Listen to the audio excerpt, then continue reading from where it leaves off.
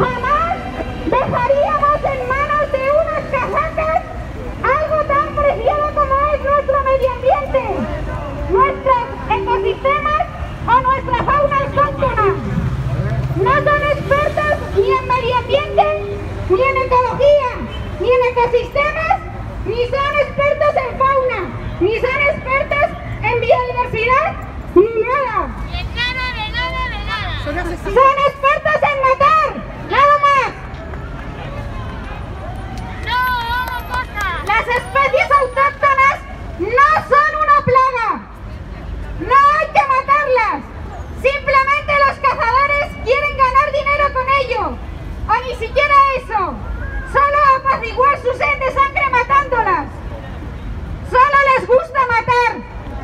Hablan de y sobreabundancia mientras se están soltando animales procedentes de, de granjas diegéticas. Animales enfermos que transmiten enfermedades a la fauna autóctona. Enfermedades como la mixomatosis de conejos y liebres o la peste porcina africana de los jabalíes. Hablan de especies causando daños o accidentes de tráfico. Pero luego no se gastan un duro en arreglar los vallados cinegéticos de sus patos. Solo son animales huyendo de los disparos y de las cacerías.